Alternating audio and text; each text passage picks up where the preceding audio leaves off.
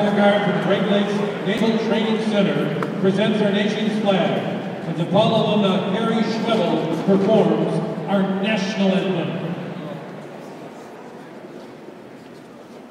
You